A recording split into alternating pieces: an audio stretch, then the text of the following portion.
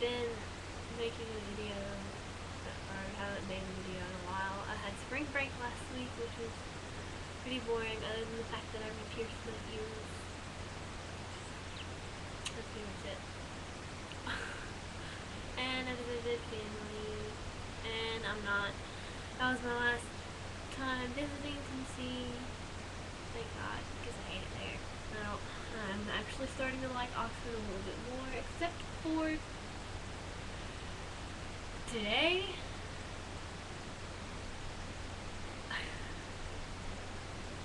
Um, so let me tell you about my day.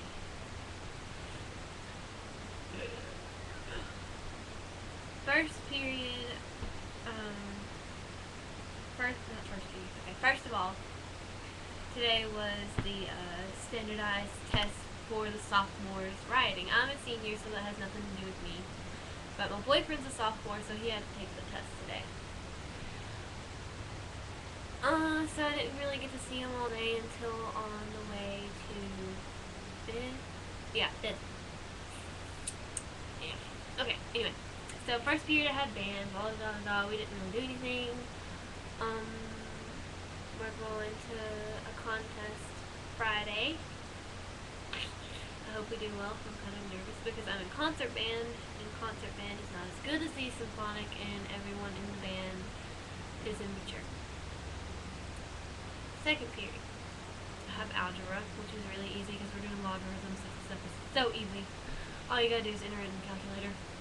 Um, third period, I had world history, or not world history, U.S. history. Uh, we took notes. Pretty much it. Uh, I drew, though I didn't really take notes. Um,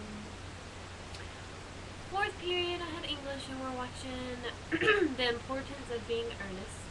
That's pretty funny. Sorry, not cat it's pretty funny. Um, I like it so far. We've only started watching it today. We're watching it till Friday, so that means we're not doing anything in English. Yes. Um.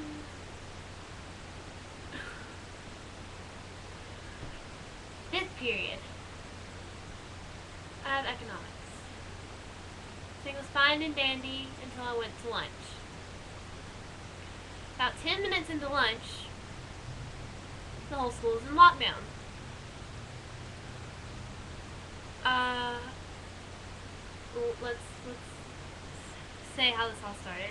So I'm in the art room. I don't eat lunch. I eat my lunch during the first. I have second lunch, so I eat in the classroom before I go to lunch, so I can go to the art room. Um, so I'm in the art room, and Miss McKittrick, that's my art teacher, she walks down to the office, comes back, and um, she grabs to go paint because we were doing prom decorations, or she is, and all of a sudden you hear a bunch of keys jingling and someone running. Um, it's one of the police officers that work at the school, and he's like screaming lockdown, lockdown, and everyone on the class list is just looking at each other like, what? Like we didn't take him seriously, and then we heard the radio that there's someone outside. And so Miss McKittrick runs in there, in, the room, and she's like, y'all get into the back room. So we go to the back room, and everyone thinks this is fake because, for one, it's test day, and two, they're doing this during lunch. But then we were all like, no, wait, they wouldn't do that. So this is real. But no one realized how bad it was until one of my friends had gotten a text message from the office saying that there was someone running outside with a gun. And so, and then a few minutes later, uh, we get another message saying something about how the guy had escaped in a tunnel. I don't know. But then, as a few minutes in into the lockdown, we were in the room for an hour and 30 minutes. Um, the, the, then they tried to, um, get, I don't know if it was a police officer or the guy who had the gun, I don't know.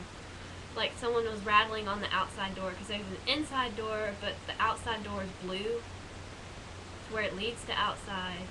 So I don't know, but um, what had happened. It, it wasn't some guy like deliberately trying to hurt us. It was he was just caught in the wrong place. It was just most convenient place to run because what had happened.